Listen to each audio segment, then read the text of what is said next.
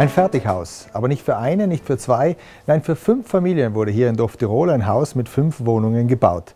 Wie man fünf unterschiedliche Meinungen unter einem Dach versammeln kann, das will ich heute wissen. Seit einem Jahr leben jetzt fünf verschiedene Familien in fünf verschiedene Wohnungen da in dem Alphaus zusammen. War das von Beginn an ganz klar, wie es gemeinsam bauen willst? Nein, war es eigentlich nicht.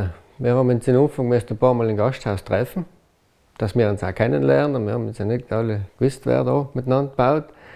Und da sind wir gleich draufgekommen, dass das verschiedene Meinungen hat, dass das nicht ganz so einfach wird. Dann haben wir uns mal einen Geometer genommen, der hat uns noch einen Plan gemacht für ein Haus. Mit dem Plan haben wir noch verschiedene Kostenvoranschläge eingeholt. Und da sind wir noch auf die Firma Alphaus gekommen, der hat von Benny, die Frau, auf der Messe kennengelernt. Und dann sind wir eigentlich gleich überzeugt gewesen, dass die Firma versteht, was wir gerne hätten. Fünf verschiedene Wohnungen sind gebaut worden. Äh, schauen die dann alle gleich aus? Haben die gleich viel gekostet? Können Sie jetzt mit Nachbarn die Wohnung tauschen? Nein, das war nie gegangen. Da hat jeder seine eigenen Wünsche gehabt und da hat man auch gekannt, jeder seine Wohnung so individuell planen, wie er gewählt hat, zu seinem Fixpreis und der hat dann auch bis zum Schluss gepasst, auf den Cent. Jetzt stelle ich mir das ziemlich schwierig vor. Beim Bauen möchte man ja oft einmal während der Bauphase was ändern. Wie ist das bei Fertighäusern? Muss man da nehmen, was in Umfang auf dem Plan oben ist? Wir haben von denen auch Angst gehabt, aber das ist noch echt gut gegangen. Mit dem Matthias, dem Baustellenleiter, haben wir noch besprochen, was hat man gerne anders machen. Noch. Dann hat er uns gleich anhand von verschiedenen Kostenvoranschlag, plus minus, Aufpreis, Minderpreis, haben wir das noch, noch ändern gekannt. Wie zum Beispiel bei uns ist gewesen, das Fenster da hinten, da haben wir auf dem Plan ein richtig schönes, großes, sechseckiges Fenster drauf gehabt. Aber Matthias hat noch Vorschlag gemacht, da, da kann man noch ein bisschen insparen, wenn man da ein vierjähriges Fenster rein tut.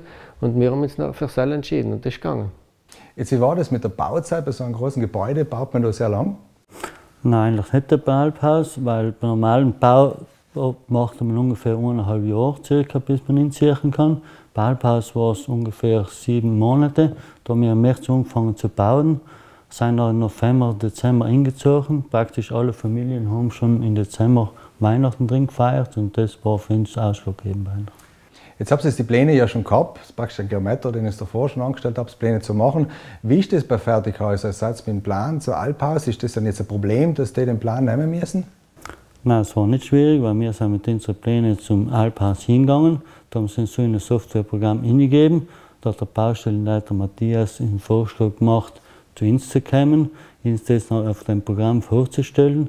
Und da hat sich noch jeder kennt, individuell seine Wohnung noch planen, wie er sie eigentlich gebraucht und gewollt hatte. Wenn Sie jetzt selbst noch einmal bauen würden, würden Sie dann Alphaus noch einmal nehmen? Ja, das Konzept passt. Alphaus, das fertig gedachte Haus.